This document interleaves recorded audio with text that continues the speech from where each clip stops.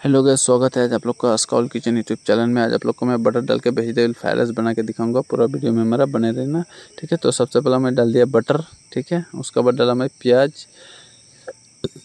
प्याज डालने के बाद मैं डाल दिया कैबेज और कैरेट ठीक है? कैबेज कैरेट डाल दिया। देख सकते हो अच्छा से मिक्स कर, उसके बाद डाला मैं बीन्स मिक्स करना है आप इसको मुझे अच्छा से, ठीक है?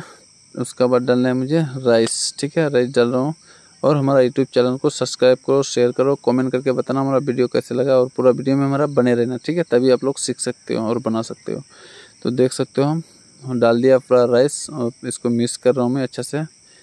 तीस पैंतीस फ्राइड राइस मैं बना रहा हूँ एक साथ में, ठीक है? आप लोग को जितना बनाएगा उतना के लिए सामान यूज़ करना है, ठीक है? वेजिटेबल तो देख सकते हो मैं मसाला डाल रहा हूँ, नमक पहला डाल दिया।